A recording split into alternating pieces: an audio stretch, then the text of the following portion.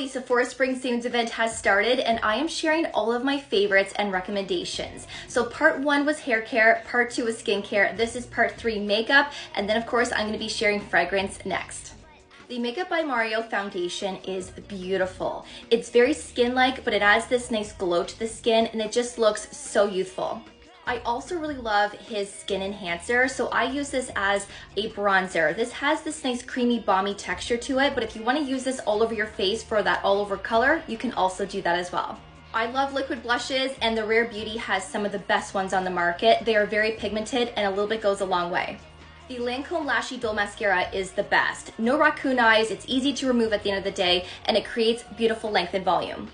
The Summer Friday Lip Butter Balm in the shade Poppy is my favorite and I have it on today. And I love the Givenchy setting powder in the shade 3 Rose because it's so brightening.